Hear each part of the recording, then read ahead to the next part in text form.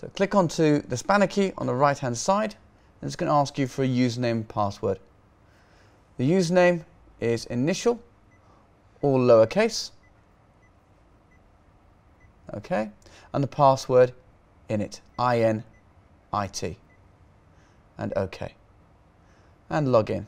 We're going to stay on the initial settings and we're going to scroll across to an option marked as interlock.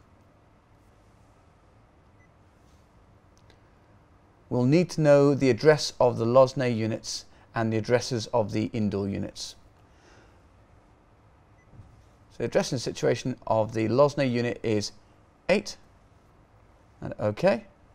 And I'm going to interlock that Lossnay unit with the following air conditioning units. I'm going to put it on 1, 4 and 6.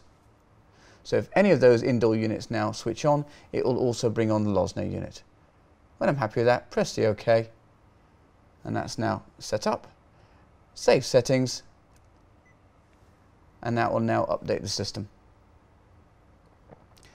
This could take a good minute to update.